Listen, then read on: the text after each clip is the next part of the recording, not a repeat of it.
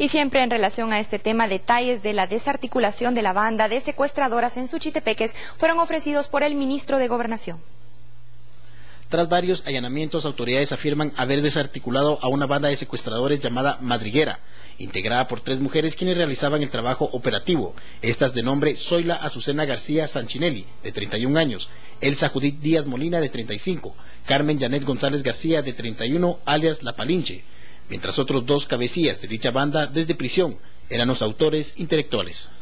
Los dos principales eh, dirigentes de esa estructura se encuentran eh, en prisión condenados por el delito de plagio y secuestro.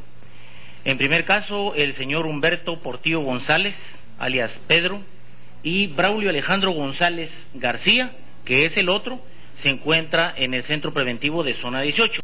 Bien dice el dicho que no hay peor cuña que la del mismo palo. Soy la Azucena García Sanchinelli es indicada de haber secuestrado a su propio sobrino.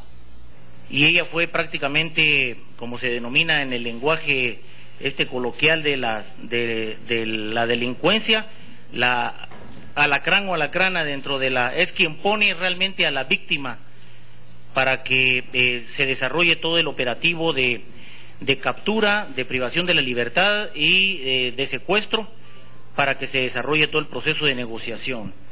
Con la captura de los responsables, autoridades aseguran que en lo que va del año, esta es la novena banda de secuestradores desarticulada y con esto más de 50 personas detenidas.